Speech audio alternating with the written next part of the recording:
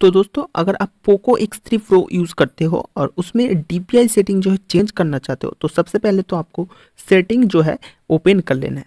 दोस्तों, अगर ये वीडियो आपको हेल्पफुल लगेगा तो वीडियो को एक लाइक करके ज़रूर जाना और चैनल को सब्सक्राइब करके ज़रूर जाना। तो सबसे पहले तो सेटिंग को ओपन कर लो, उसके बाद अबाउट फ़ोन पर क्लिक करना है और यहाँ पर दोस्तों आपको M I Y version Poco for Poco यहाँ पर लिखा है तो यहाँ पर आपको क्लिक करके डेवलपर ऑप्शन जो है ऑन कर लेना है। सात आठ बार क्लिक करना है ऑन हो जाएगा। मेरा ऑलरेडी ऑन है, यहाँ पर दिखा रहा है, ठीक है? तो उसके बाद आपको सर्च बटन पे आना है और डेवलपर ऑप्शन सर्च कर लेना है।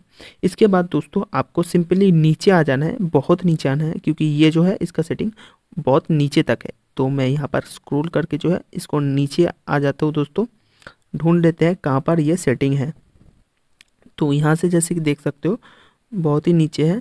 और यहाँ पर आप जैसे कि देख सकते हो, ये जो है आ चुका है स्मॉलेट्स यहाँ पर आप देख सकते हो जैसे कि लिखा है स्मॉलेट्स विथ ठीक है? तो यहाँ पर क्लिक करके आपको 392 है मेरा। आप जितना भी करना चाहते हो, मैं 420 कर दे रहा हूँ, ठीक है? उसको कर देना। जो उसको नीचे वाला जो ऑप्शन है सो जी व्यू व्यू अपडेट्स इस पर क्लिक मत कर देना, क्योंकि इस पर क्लिक कर दोगे तो आप ठीक नहीं कर पाओगे, उसको बंद कर देना।